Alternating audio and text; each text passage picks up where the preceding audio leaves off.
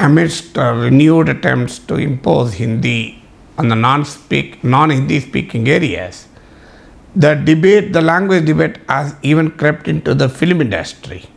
We have seen Ajay Devgan and Kicha Sudeep talking over the language, talking over the Hindi, while Ajay wants an Hindi, uh, Ajay takes a Hindi supremacy stand. Sudeep asserts the linguistic identity and the rights of the Kannada speaking people. Well, the debate has taken a very interesting turn with the uh, with the famous Telugu actor, Telugu hero Mahesh Babu, in an interview stating that uh, Bollywood cannot afford him. Well, he was not actually directly entering into the Hindi versus non-Hindi debate, but he was referring to the reasons why he was he has not shown interest to enter into the Bollywood. But it has invariably led to a debate over Tollywood versus Bollywood. Kangana Ranaut came in defense of Mahesh, uh, Mahesh Babu, stating the, that the Telugu film industry has grown on its own and uh, in the film industry, Bollywood has a lot to learn from the Tollywood. Well, let's look at this debate from a point of view of the economics of the film industry, the Tollywood and the Bollywood. Well, let me tell you, Mahesh Babu, uh, well, it may sound arrogant what he said, but what Mahesh Babu said is certainly true. Well, Mahesh Babu himself clarified that it was not said with arrogance or not said with any ill intent to Hindi or the Hindi film industry. Well, that's true. We should not have any ill intent towards any language. We love Hindi. We love, we respect Hindi equally. But the question only comes when you try to impose one language over the other in a country known for linguistic diversity. So let's, let's let me look at certain facts. Let me place certain facts before you to understand the the the the success with the Tollywood has achieved in comparison to the Bollywood. Well, earlier times there were examples of Telugu film stars, Tamil film stars, South Indian film stars trying to make an entry into the Bollywood, but they could not do that. In 19 in the early 80s, uh, Kamal Haasan and Rajnikant acted in a couple of Hindi films like Sanam Teri Kasam, Kamal Haasan, Andha Kanoon, Rajnikant, and even Chiranjeevi tried his luck with the tried his tryst with Bollywood in early 1990s with films like Pratibandh and Aaj Ka Goonda Raj. But uh, these great stars of Telugu and Tamil film industry failed to make a very decisive impact on the audiences of the Bollywood or the audience of the Hindi uh, film industry, Hindi speaking audiences. But the things are changing thanks to the OTT platform, thanks to the social media, thanks to YouTube. Today, the the mal masala, the commercial elements of South Indian film industry are increasingly accessible to the Hindi speaking audience, especially those living in non metropolitan cities in smaller towns. So, as the Bollywood increasingly becomes elitist, Bollywood is trying to ape the Hollywood. Bollywood is trying to cater to the urban multiplex audience. There is a gap between Hindi films and the audience in the smaller towns, audience in the non-metropolitan areas, audience who do not go to the multiplexes but go to the smaller uh, screens, single screens and, uh, and non-multiplex uh, film exhibition places.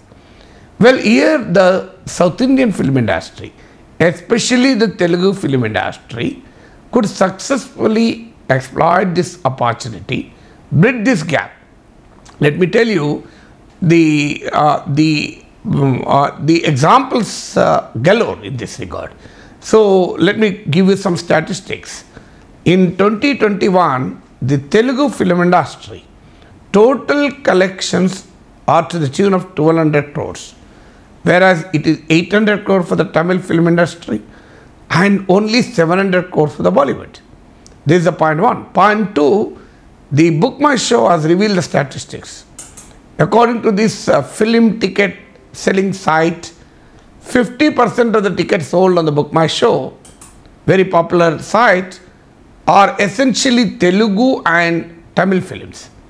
There was a time when the Hindi films accounted for 60% of the tickets sold on the Book My Show. So the third example is so the let me give you an example of the Telugu films which have made a very significant impact worldwide, including the Hindi speaking areas. So it is Triple R or, or Bahubali 1 and 2 or Pushpa. Let me give you the example of the Pushpa.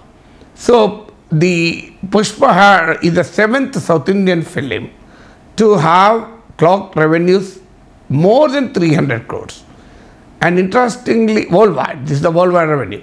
Interestingly, according to the estimate by Live Mint, by Mint, a business daily of the Hindustan Times, so the 35% of uh, revenues accrued to the Pushpa film are from the Hindi speaking areas. Well, some other estimates put this figure to as high as even 50%. Well, the fourth example is again, let me also quote another statistics related to Pushpa. So, Pushpa 2, the, the work has not yet begun, but the media reports suggest that uh, uh, somebody has come forward to pay as high as rupees 300 crores to buy the satellite and digital rights of the, the Pushpa 2. So, but uh, the producers have rejected the offer and they were asking for 370 crores. That's the level of the demand. And uh, normally an Hindi film fetches around 70 and 80 crores for selling the satellite and the digital rights. So that is the level of the footfall which the Telugu film or the Telugu original Telugu films uh, garner in the Hindi film industry and the pan-India film industry. Then the fifth one is the FICCI and Ernst Young report. Um, uh, talks about the audience for uh, for films on the satellite uh, television also. This is a report of 2017. In 2017, the top two Telugu, uh, the top two films in terms of audience garnered on Hindi satellite television are Telugu films. One is the Bahubali 2 and the other is Duvvada Jagannadham. Interestingly, the Bahubali 2, the repeat airing has got more audience than Dangal. Aamir Khan's Dangal was the second most watched film in India. So this is the, the, the level of audience which, which as, with these uh, Telugu films could garner.